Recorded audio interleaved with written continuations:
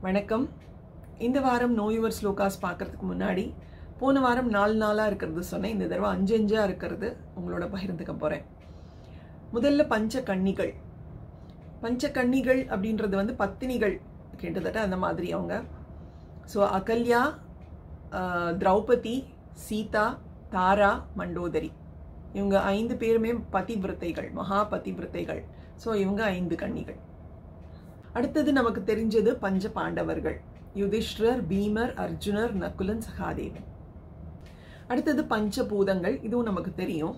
நிலம் நீர் காற்று ஆகாயம் நெருப்பு.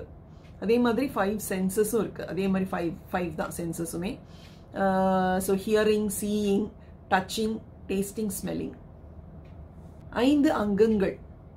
திதி நாள் யோகம் கரணம் நட்சத்திரம். ஐந்து விதமான யாகங்கள். தேவயாகம் பித்ருயாகம் பூதயாகம் மனுஷ்ய யாகம் பிரம்ம யாகம் கடவுளுக்கு செய்யக்கூடிய ஐந்து விதமான உபச்சாரங்கள். Uh, இது வந்து எல்லா கோவில்கள்லையும் பண்ணும்போது நம்ம பார்த்துருக்கோம். கண்டிப்பாக ஸோ கந்தம் கந்தம்னா சந்தனம்.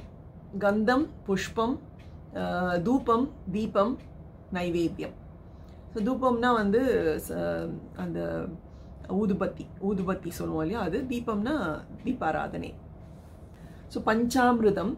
இது வந்து பழனியில் கொடுக்குற அந்த பஞ்சாமிர்தம் இல்லை. ஆக்சுவலாக அதுலேயும் இதில் இருக்கிறவங்க சேர்ப்பாங்க. ஆனால் இது வந்து பஞ்ச அமிர்தங்கள். இந்த சாப்பிட்டோம்னா நம்ம உடல் நலத்திற்கு ரொம்ப நல்லது. ஸோ அந்த மாதிரியான ஐந்து அமிர்தங்கள் பால் தயிர் நெய் தேன் வெல்லம். இந்த ஐந்து நம்ம சேர்த்துக்கிட்டோம்னா ரொம்ப ரொம்ப நல்லது. அதுதான் இந்த ஐந்து அமிர்தங்கள்.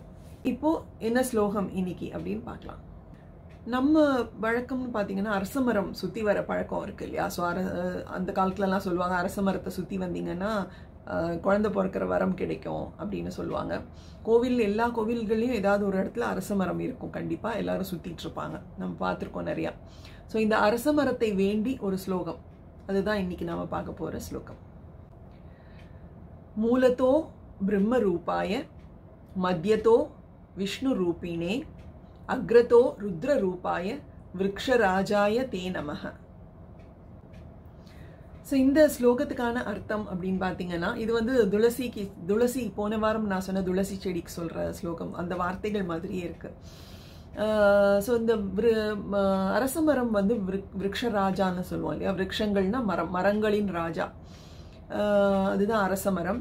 ஸோ இந்த மரம் வந்து இந்த மரத்தில் வந்து அதோடைய வேர் வேரில் வந்து பிரம்மன் குடியிருக்கிறாராம்.